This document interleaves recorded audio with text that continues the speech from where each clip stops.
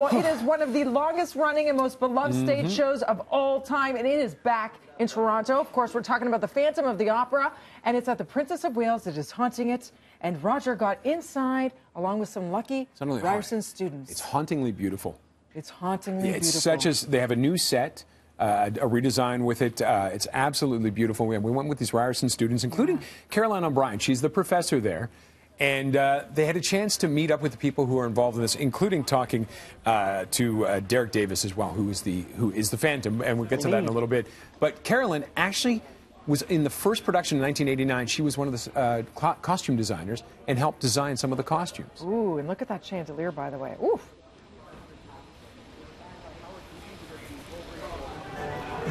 Let's uh, let's hear from Caroline about designing that costume.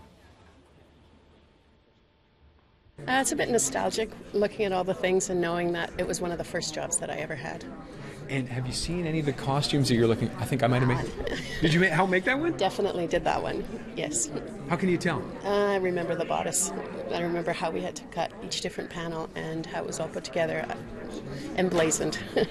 Did you know you were working on such an iconic show? um, I didn't, and I think I never really think about that when I'm working on anything, and it's uh, it's always just the next job and the next thing that we commit to. We got to go back to the chandelier for Yes. a second. I, uh, this is absolutely incredible. This is the new version of it. 30,000 crystals in it. Wow. 30,000, 2,500 pounds it weighs. There's gold leaf in it. It travels as is. So when they this is the uh, this yeah. is the touring show. So it, they don't take it apart. It stays like that. And uh, when it drops, of course, that's the, the famous scene, the iconic scene when it drops at uh, three meters a second. So it comes down in a hurry. Real quick. Yeah, and uh, they were talking about uh, some kids that were in Baltimore had not seen the play before, and so when the chandelier dropped, Surprise! It was very, very authentic to them. So it is absolutely gorgeous. And uh, again, the sets we were talking about.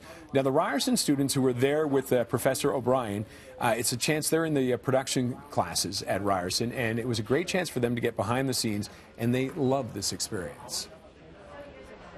I always really wanted to work on this show, and just seeing all the behind the scenes and the work that goes through it definitely makes me want to work on it even more. and the fact that like this is a touring company as well that they bring all these giant set pieces and all this like extremely hard work just everywhere it's truly amazing and really like makes me want to do all of these Meeting some of our former students and the people who work on the show, it makes them believe that yeah, it's possible. We can we can actually do the work we want to do.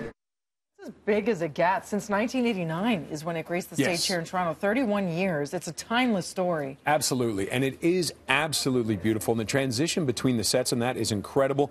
Now, along with the Ryerson students and, and getting some information about behind the scenes, they also had a chance to meet up with Derek Davis, who plays the Phantom. He is magnificent in this, and we had a chance to talk to him. And he said he saw this when he was young with his mother. Cool. And his mom knew what was to come. She called it. Yeah, take a listen. One of the things she told me was, You're going to play the Phantom. And I was like, What are you talking about? there's no people of color playing the Phantom. This is before Norm Lewis, obviously after Robert Guillaume, but I had no reference, you know? And it's just magic. It's, I could not have dreamt this. I'm flying her and my father in to, to see the final performance. We are one of the most multicultural cities in the world. It must be an incredible feeling being able to play it here. It's, it's wonderful. It's wonderful to be here. Just as soon as I landed, I felt like I was at home. And I keep telling everybody back in the States, may not be coming back. And we want to have him. He, he's absolutely wonderful in the show. But uh, and Derek was saying this is the last show. It's the end of the tour, the last show in Toronto. What does that mean to have the production close here? Because as we said, it was so iconic to have this open in 1989. And uh, we asked him what it was like to end it here in Toronto. It's an honor. It's a privilege for them to have asked me to come back to close out the show. This is one of the creative team's favorite theaters in the world, and so that's why they wanted us to close it here with you all. And so just to get the opportunity to do that is a dream come true on top of a dream come true. How's that going to feel when it closes out? I can't think about it.